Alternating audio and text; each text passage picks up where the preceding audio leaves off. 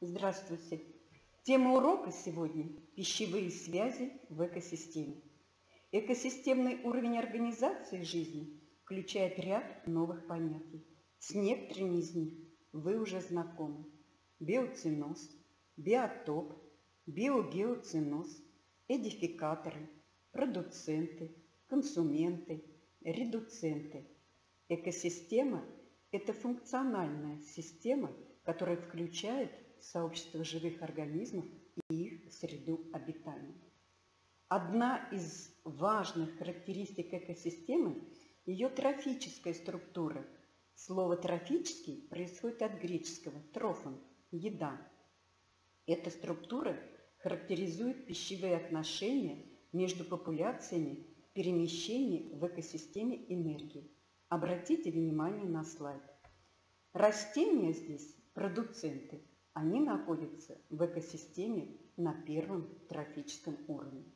Гетеротрофные организмы – консументы первого порядка, консументы второго порядка, консументы третьего порядка, консументы четвертого порядка или первичные, вторичные и так далее консументы.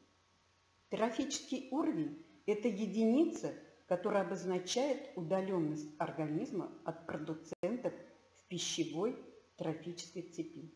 Обратите внимание, как удалены от продуцентов консументы первого и других порядков. Цепь питания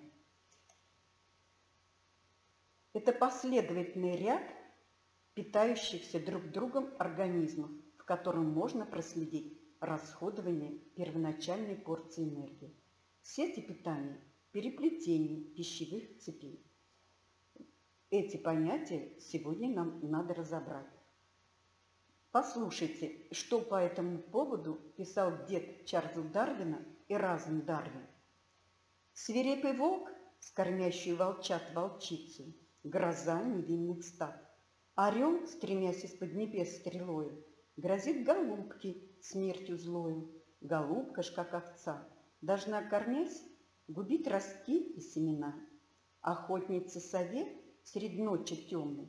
Не жаль певца любви и неги томной, а соловей съедает светляка, не посмотреть на прелесть огонька.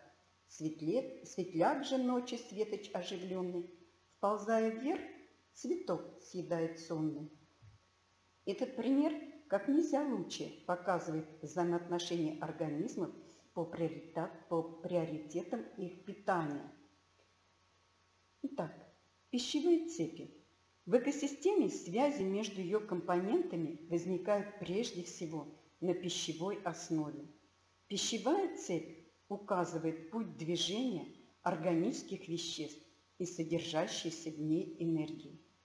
Цепь питания – это перенос энергии от ее источника через ряд организмов путем поедания одних видов другие. Обратите внимание вот на рисунки на данном слайде. Разберем примеры, ну, данные примеры, данные понятия на примерах. Обратите внимание вот на следующий слайд.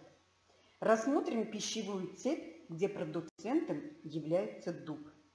На листьях дуба живут и используют их в пищу различные гусеницы. Они фитофаги, значит занимают трофический уровень первого порядка.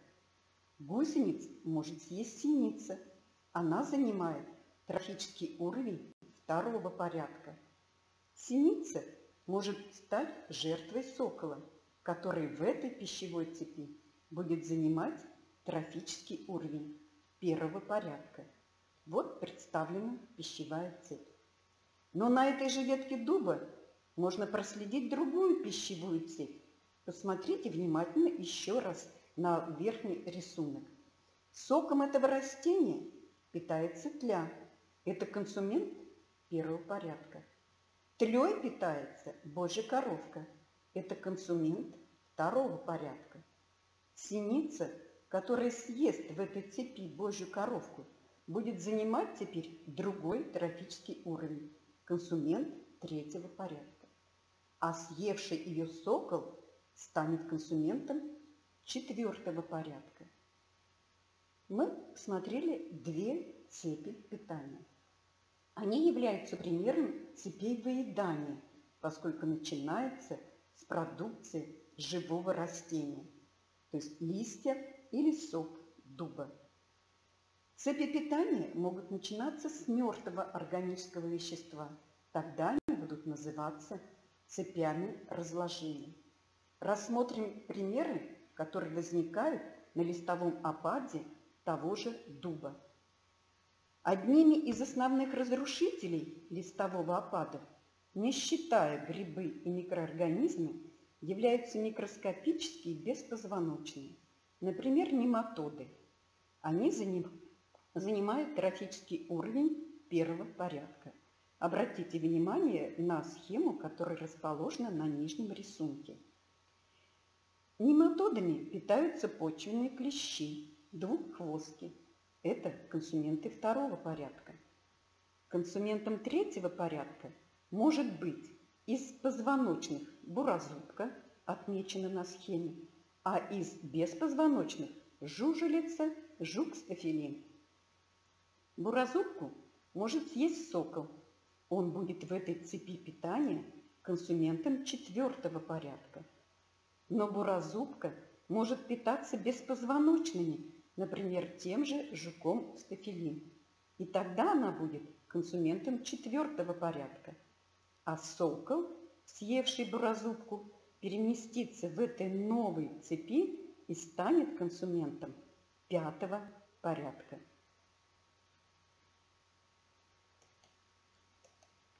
Запомним, цепь выедания, которую мы рассмотрели первые два примера, это цепь пастбищная, автотрофная.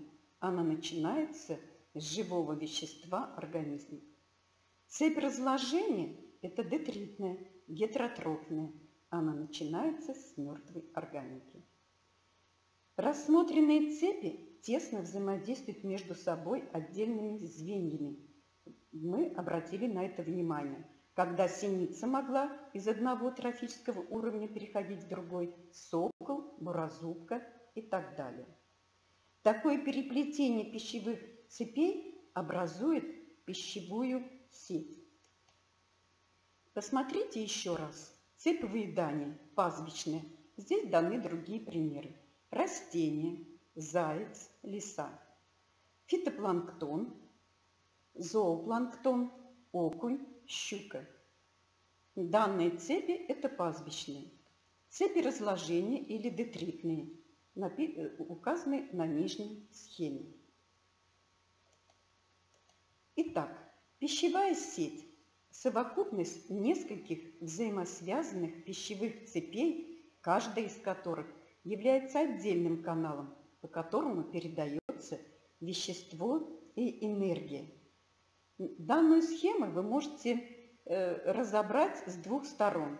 Во-первых, составить пищевые сети на примере данных организмов и объединить их в пищевую сеть.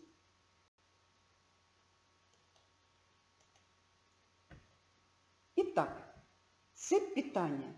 Что вам надо запомнить? Это последовательный ряд питающихся друг другом организмов – в котором можно проследить расходование первоначальной порции энергии, сети питания, переплетение пищевых цепей, трофический уровень, каждое звено цепи питания. На схемах представлены разнообразные сети и цепи питания.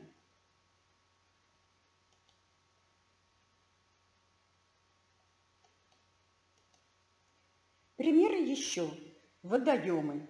В водоемах можно представить несколько цепей питания. Обратите на них внимание. Ряска, карась, щука. Комар, лягушка, цапля. Водоросли, головастики, утки. Одни примеры. Личинки, карась, щука. Водоросли, рыба, цапля. Значит, что можно, какие выводы можно сделать по рассмотренному материалу? Но, во-первых, вам необходимо запомнить некоторые понятия. Это пищевые взаимоотношения, трофическая структура экосистемы, трофические уровни, консументы первого порядка, консументы второго порядка, трофическое пищевое звено, пищевые цепи, пастбищная цепь выедания, детритная цепь разложения. И можно сделать выводы. Трофическая структура экосистемы описывает пищевые отношения между популяциями и перемещение энергии. Продуценты находятся в экосистеме на первом трофическом уровне. Вернемся к слайду, где это указано. На втором трофическом уровне располагаются животные, питающиеся растениями. Это первичные консументы. Организмы, поедающие этих животных, занимают третий уровень и называются вторичными консументами. Каждый организм, занимающий определенный трофический уровень, образует трофическое или пищевое звено. В результате соединения нескольких трофических звеньев образуется пищевая цепь.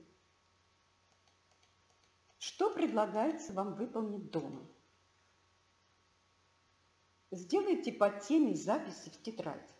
В конце параграфа есть интересные и познавательные вопросы и задания. Постарайтесь их выполнить. До свидания. Удачи!